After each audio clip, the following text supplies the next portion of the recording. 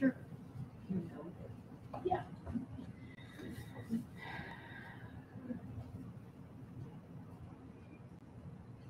Nice job centering today. Thank you. Yeah, I tried. So there's a Should get cheese started? greens. Yeah. Let's get started. So happy June 1st, everybody. So Woo. it's Cindy I'm Christine. with Candles and Supplies, and we are doing some Father's Day inspired things lately. So, because Father's Day is right around the corner. Um, What day? It's June something. it's June something. Yeah, June. A little later this month. I don't know. I Okay. just turned the calendar, so Yeah, I feel like it might be 17th or something. I don't Yeah. something like that. Yeah. Something like that.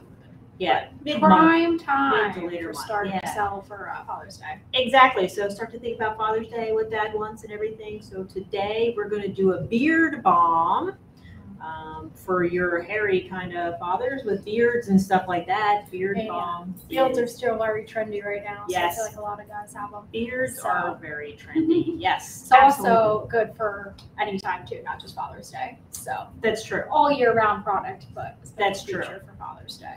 And honestly, the beard balms and everything from like swimming in the summer and your hair being Mhm. dry if you're near the beach or ocean or pool. So I have a Yeah. pool, we're not really near the ocean, but from swimming and everything like that, Mhm. your hair gets dry and stuff. So Yeah. honestly, I use this on my hair too. So um, it's good for anything. So good moisturizing of hair. It is, yeah. So especially for beard. So what a beard Yeah. balm is supposed to do is it softens, um, it shines, it makes the beard feel silky because typically like beard hair, um, mine doesn't really get this Scruffy way. Yeah, but it's Yeah. really it's it's like bristly kind of hair. So you want to soften it, you want it to shine and stuff like that. So you want it to be like super soft and nice looking. So when you have a beard, so that's the whole objective of a beard balm. So question then. So what's a what's the difference between a beard balm and a beard oil? Excellent question. So um, they're very much similar. So you can also make a beard oil from this. Well, we can go into that a little bit. Um, but a beard balm has beeswax in it. So what the what the beeswax does is just kind of seals and protects everything. So a balm is is like a protectant. Right. So Balms, yeah, it's more lip solid. balm, lip yeah. balm goes on your lips to seal and protect your lips. So this goes on your beard balm goes on your beard to seal and protect your beard. So so that's the difference.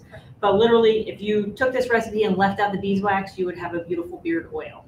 So right. So that's just you're not getting that extra protection layer of like keeping the oils in correct. Yes. Correct. Correct. So anyway, so we've chosen a few things. This recipe is actually very very simple.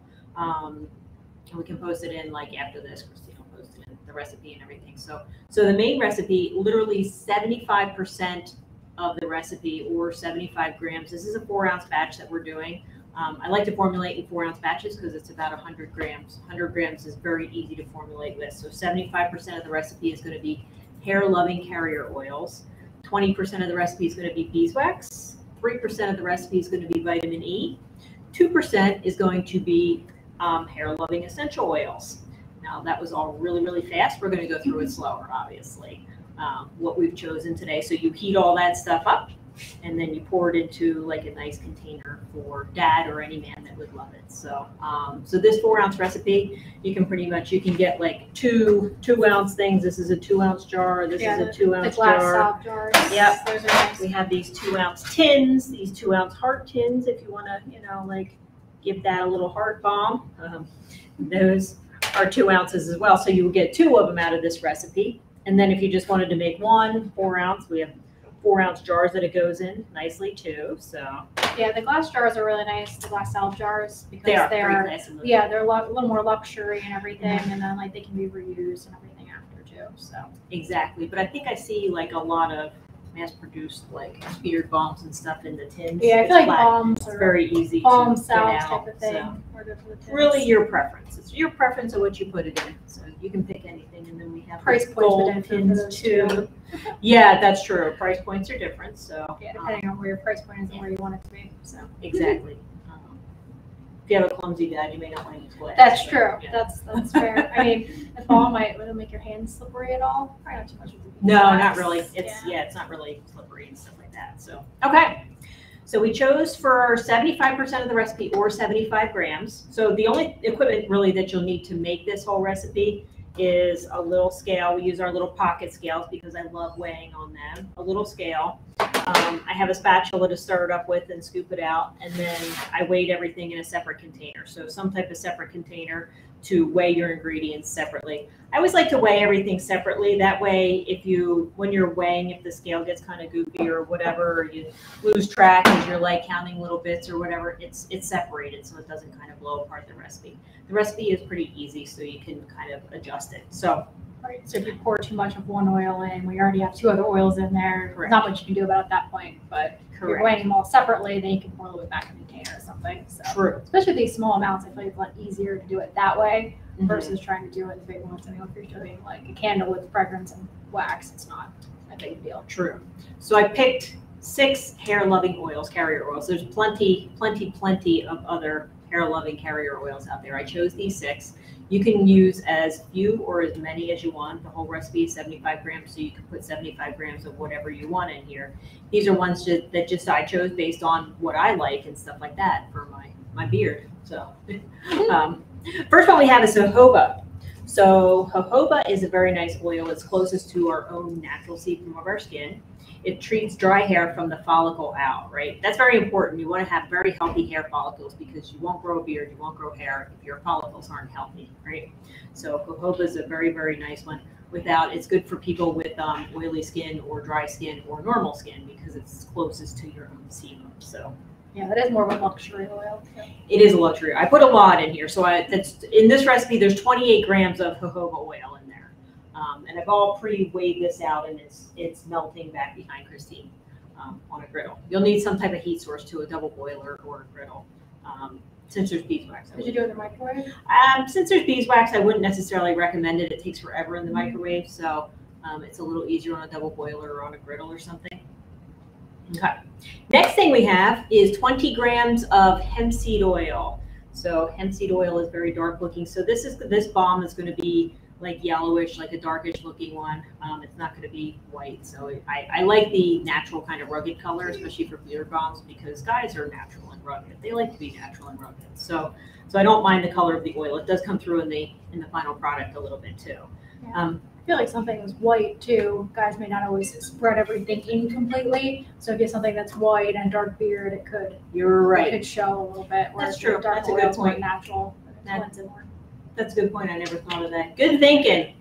She's in charge of thought and brains. so, um, but what hemp seed oil does? Hemp seed oil increases the blood flow, creates a stronger, healthier hair follicle. Remember, we're going for healthy hair follicles to produce hair, nice, healthy hair, and everything like that. So that's what hemp seed oil does. Next, we have argan oil.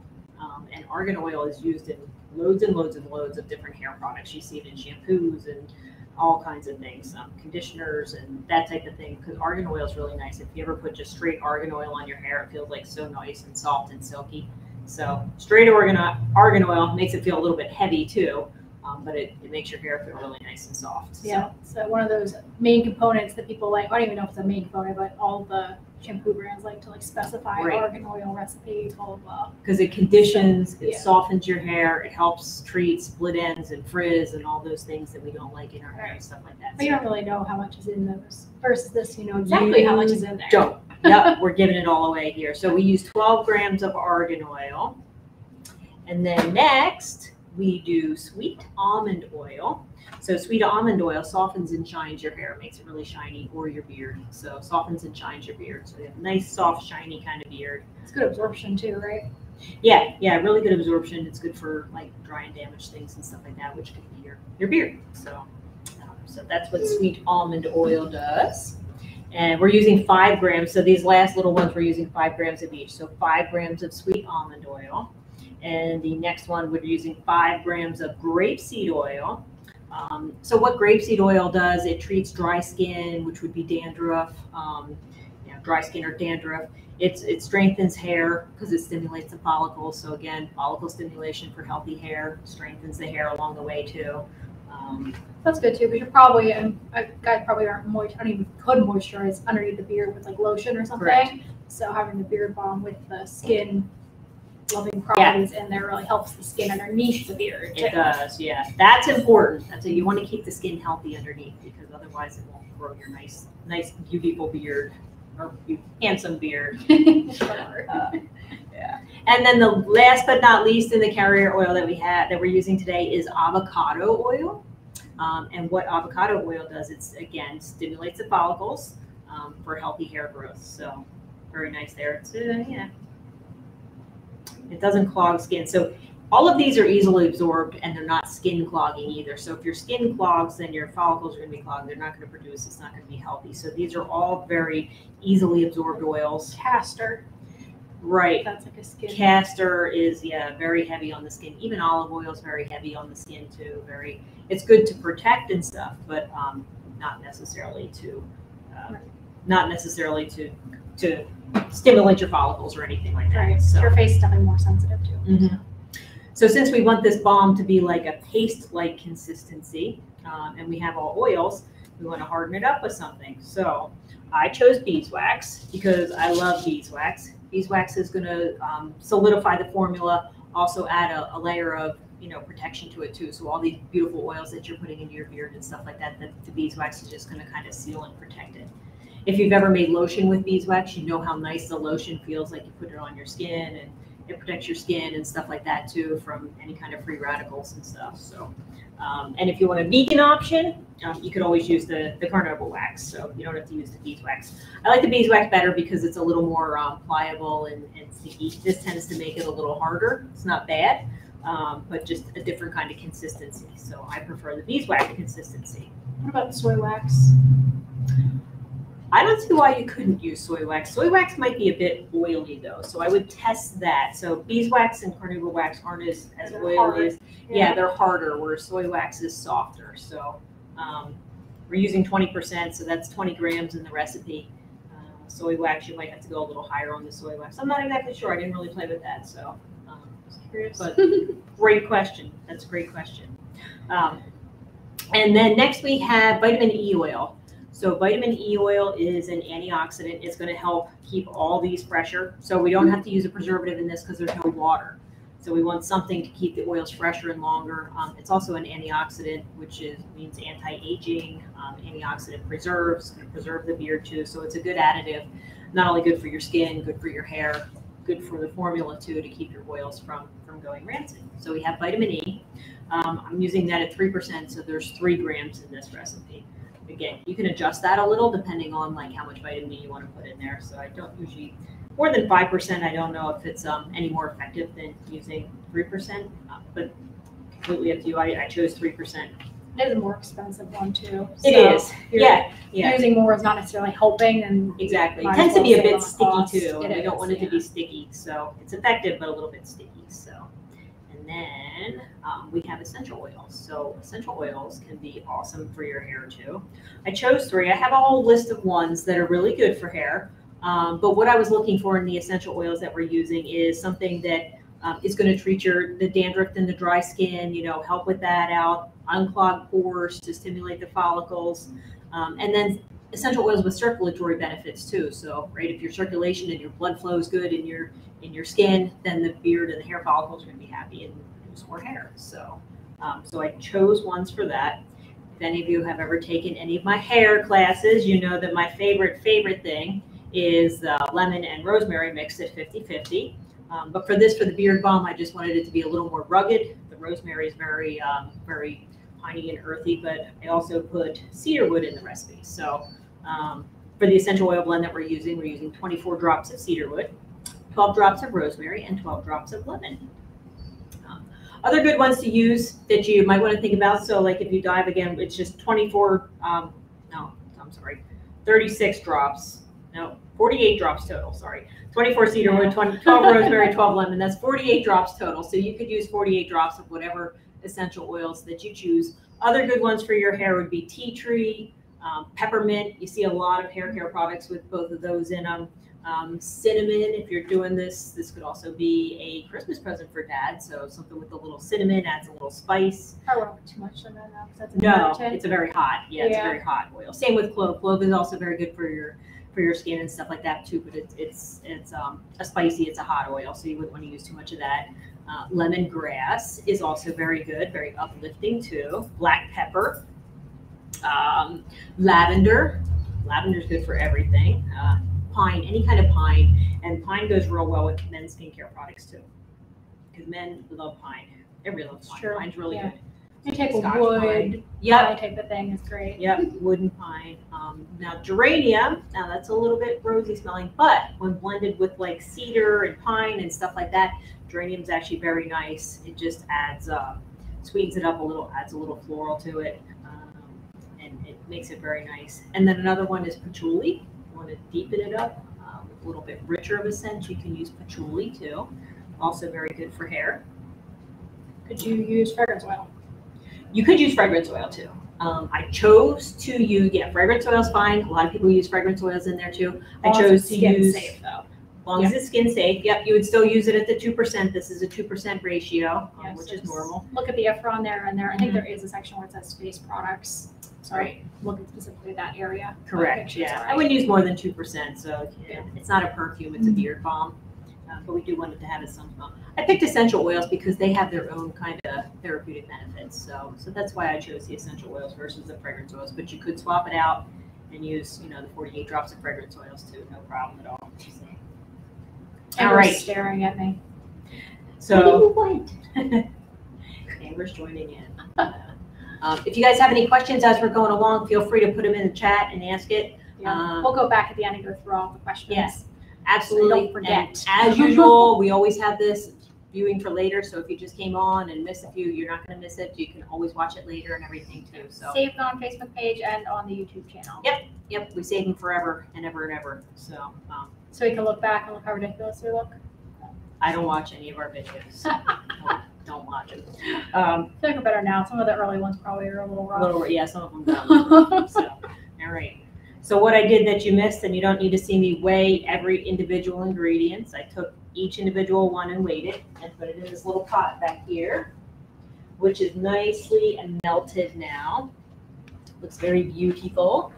I don't know if you can see it or not. Try not to spill it. Yeah. So it's just a nice. Let me go over there. And then for Instagram, you're over here. Facebook and YouTube, I'm really far. No.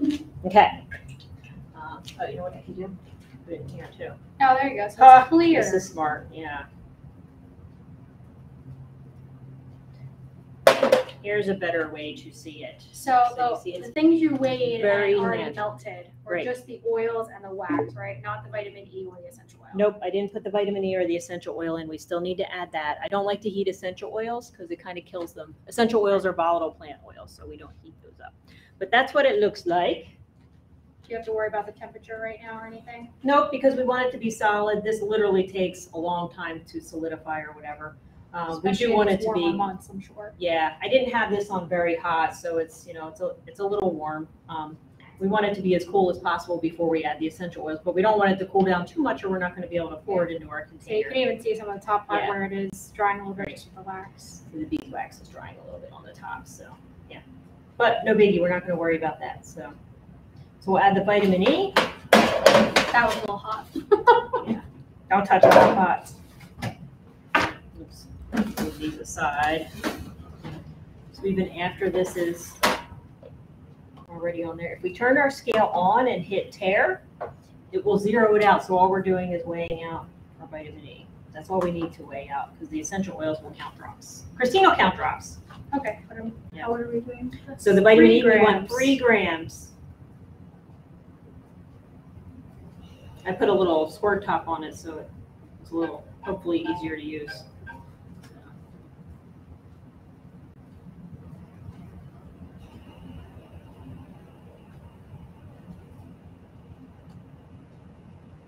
It's very thick, vitamin E is very Yeah. thick, so it's like, I'm squeezing pretty hard. yeah, imagine like honey, it's like the consistency of honey, so honey in a little squeeze bottle is not, not that easy.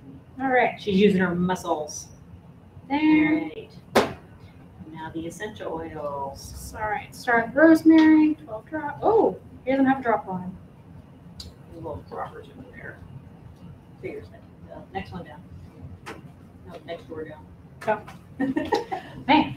Right in the back. Yeah. Okay. Let's get a pipette. If it doesn't have the Euro top, get a pipette. So Whoa, go gently. how much do you think of that? Three drops. Okay. It's easier when they have the Euro tops on.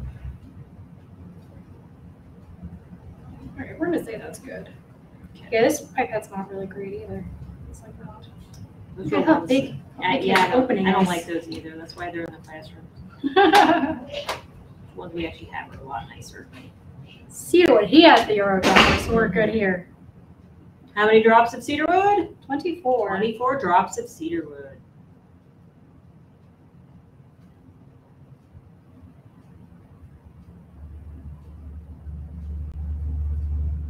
You know how to get essential oils out without having to shake them like that?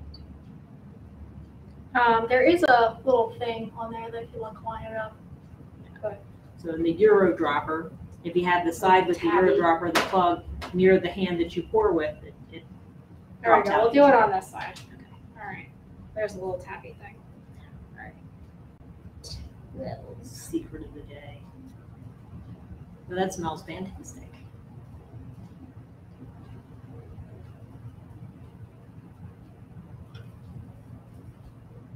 All right. Okay.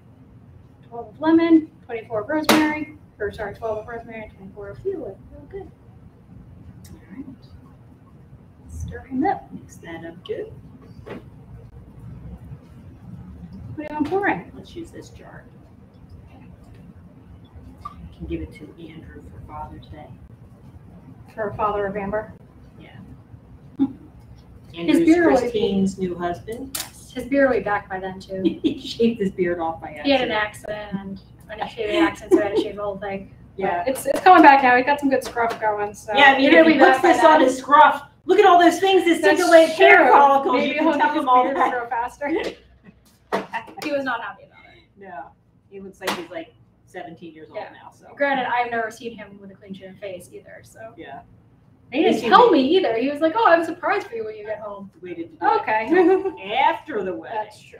Would have been weird then. Pour in the jar. What do I do with my? Oh, look at me. Yeah, look at that. All Looks right. great. It does look great. Cool. And then it. leave it uncapped till it's it's solid. It takes forever. Give it a full 24 hours to get solid. So it, it may put it in the fridge or anything? Yes, that's a nice thing about it. One thing about though having the wax in there, sometimes if you try to speed it up and put it in the fridge, uh, the wax cracks. Um, yeah, so I, I just usually let it sit out. I'll put a paper towel over top so nothing falls in it or anything like that. So, um, but you could speed it up by putting it in the fridge. If it does crack, just heat it up with a little heat gun to fill in the cracks or anything. I feel like now that it's starting to get warmer, it takes a little bit longer though Mhm. to solidify. So. Yep. And this recipe multiplies out very nicely. So if you wanted to do, you know, a bunch of four ounces or two ounces or something like that, I forgot to turn my phone. Yeah, I'm not clearly. grabbing my phone each time, so sorry. Um, if you wanted to multiply it out and do, you know, a bunch of different one, two ounces or whatever, it multiplies out very nicely too. So, so that you can make a big batch and sell it. If you're selling it, you'll probably want to make a bigger batch or whatever. So, Yeah, they can put the drops into actual grams too. correct. Yes. Yep. That'll make it easier. So, yeah. Well, that's our beard balm for today. Do you want to look at the questions? So. Yeah. Tell us hi if you're on too. Let us know you're out there. Give us a wave. Tell See us hi. Instagram first. You got anything? All right. If you have any questions, post it. We will put the recipe on this. So, Said, ooh, make we make stuff today. Yes, we are. do you guys like the videos when we make June? June nineteenth is Father's Day. Oh, thank you. June 19th is Father's Day. It's always around Could you repeat the the percentages? Just want to go through that one more there. time. Yes. Okay. Percentages in this recipe that we use. We use 75% carrier oils. That would be these these light oils here, anything liquid. We use 20% beeswax or carnauba wax to solidify everything up. We use 3% vitamin E. We use 2% essential oils. All that equals 100%. So you could also use that, you know, in percentages if you're calculating a big recipe too. So if you want to do, you know, however many, you know, if you want to do uh, 50 ounces of it, you know, do 25 two ounces, so you need 50 ounces total. You could just take those percentages and and calculate out. So the other question was a vegan wax. Yep. So the carnauba oil or carnauba yeah. wax, you could use that. For, That's vegan. For vegan one. Yep. Uh, or as Christine mentioned, the soy wax. Potentially, yeah. Got some highs.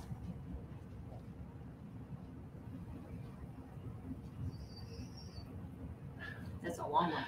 Yeah. Tammy says Jason will be so excited. He's been acting a fool for me to make him some. Oh, nice, good. Yeah, this is a really nice one too. It smells fantastic right here. So. It's over really, here. really All right.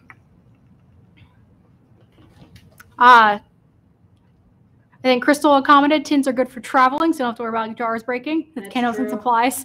Yeah, yeah. good one, Crystal. Yeah, yeah. They plan to travel that's it. it's good. So. There's some highs, Connie, and other, some other friends on there. Yay! yay. Yeah. Well, that's our one of our Father's Day inspired projects. So look for blog posts and stuff like that. So we'll probably post some of these. We have a lot of really cool ones, and we have you know like shaving ones and stuff for your unbearded dads. So also good for the Or ladies like, too. or if you're cleaning up too. with Yeah. Shaving. Yeah, exactly. So yeah, we have a lot of different ones. So we'll get some blog posts going on those um, before Father's Day, and then after Father's Day, we have a summer series of all kinds of fun things to do while your kids are at home. So easy, Oh. fun things to make. Yeah, I didn't tell you about that, but No, that's what we're going to do next because it's fun. So I've been inspired, like sand candles. I've been inspired, Mm. ice candles, all those super like fun things. Yeah, yeah. So we're gonna have a whole summer series after our Father's Day series. So look forward to that. Alright.